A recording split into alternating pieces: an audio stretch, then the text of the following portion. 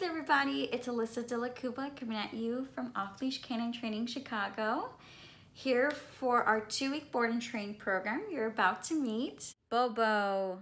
Bobo is an adorable seven month old Airedale Terrier and he is just so cute and he gets so much attention from people and he loves that so he just tends to drag his mom and dad uh, towards people or dogs and they, he wants to play. He's a big old puppy.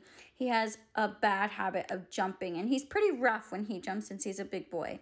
He also loves to play nip but he doesn't know his size or strength and he tends to kind of bully the kids around and play too rough and it's a big issue for his mom and dad. So we want to just work on his overall manners in the house and being outdoors and get Bobo to still be the same playful, silly pup, but be able to listen so that way that he can go to more places with his family.